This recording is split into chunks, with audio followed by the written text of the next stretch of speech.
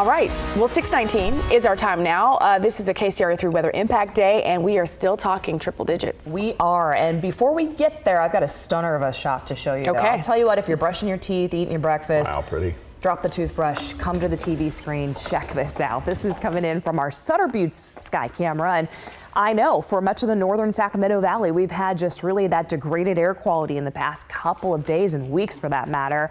Now look at that gorgeous burst of color as the sun is rising there. And you can see just kind of the peak there of part of the buttes as we look off in the distance. It's a gorgeous morning start.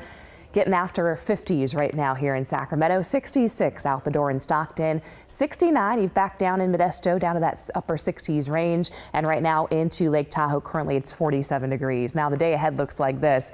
Comfortable throughout the morning so on a day that we know we're heading into the impactful heat it's always advised to get out and enjoy the morning whether it's tending to your yard work or the garden, walking the dog.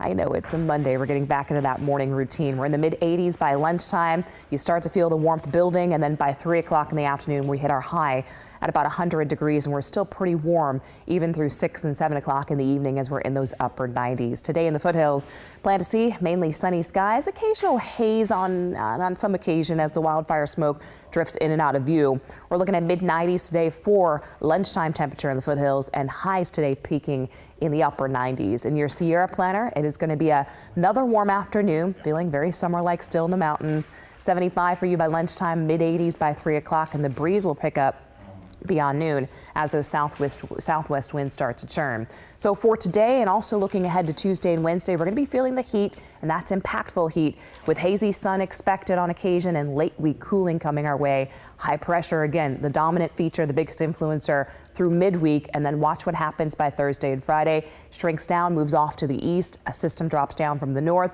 That sets us up for the drop in temperatures by late week. So the heat, have a plan ahead for the next three days at least with the impact, and then eventually by the weekend, we'll back down to those mid 90s.